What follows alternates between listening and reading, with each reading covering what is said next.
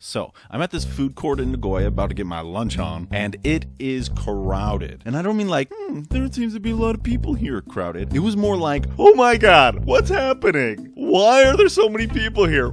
And the menu there was sort of this American theme, so they had pizza and hot dogs and fried stuff and whatnot. You know, health food. There was even a condiment bar with an assortment of toppings for the hot dogs, which is pretty rare to find in Japan, so the J folk were eating it up.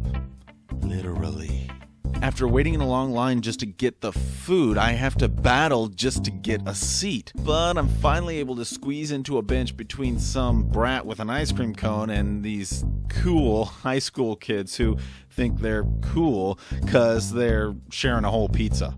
Across from me on the other side of the table, there's this couple, and because there's not enough room, she's sitting down with her pizza and he's standing chowing down on a hot dog. And though he did give up his seat for the lady, I'm reluctant to call him a gentleman based on the way he was destroying that hot dog. And from the looks of it, he's a big fan of the condiment bar because his dog is loaded with the works. It's stacked with ketchup, mustard, relish, onions. There's more condiments on the dog than there's dog. And he's loving it. I don't even think he was chewing. He was just inhaling that dog like a like a like like a frat boy on a bong. Anyway, he's about halfway into this thing, and I guess he's going a bit too fast and lets out one of those little Now, because he's face deep in this dog with all the fixin', the condiments explode like a firecracker and go everywhere.